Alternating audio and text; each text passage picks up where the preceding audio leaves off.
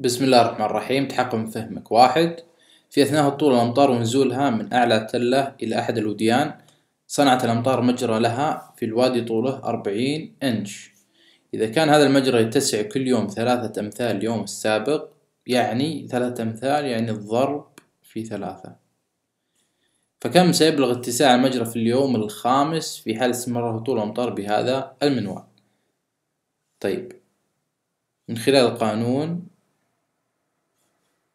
AN يساوي A واحد في R أس N ناقص واحد حيث الحد الأول أربعين إنش أربعين.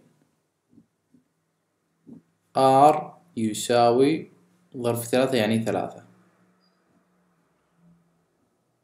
ال N المطلوب هنا اليوم الخامس إذا N خمسة. طيب نعوض علشان نشوف كم سيبلغ اتساع المجرى في اليوم الخامس؟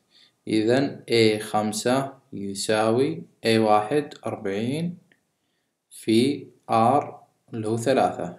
N ناقص واحد N خمسة ناقص واحد أربعة. هذا يساوي أربعين في ثلاثة. أس أربعة واحد وثمانين. الآن أربعين ضرب واحد وثمانين ثلاثة آلاف وميتين وأربعين. إذا في اليوم الخامس راح يكون اتساع مجرى الوادي ثلاثة آلاف وميتين وأربعين إنش. إذا باليوم الأول أربعين أربعين ضرب ثلاثة مية وعشرين مية وعشرين ضرب ثلاثة ثلاثمية وستين.